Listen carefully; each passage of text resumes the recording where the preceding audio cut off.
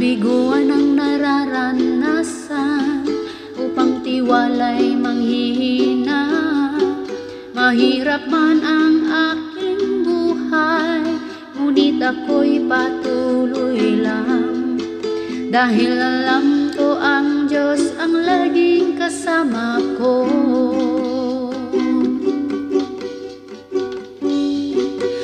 Labis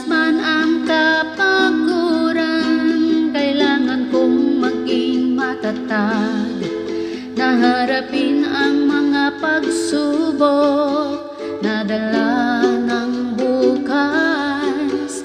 Di mawawala ng pag-asa Dahil batid ng Diyos ang lahat. Di ako mababahala.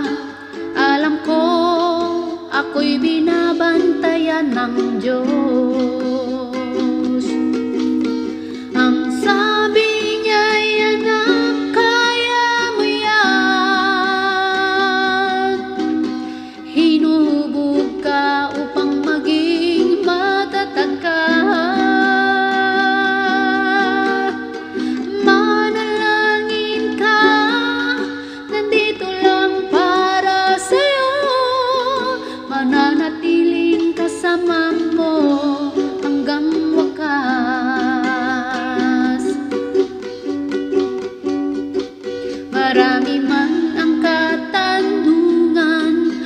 Bakit ang buhay ay ganyan?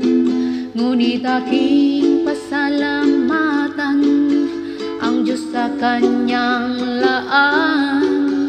Minsan ay manghihina Ngunit mapagpatawad ang Diyos.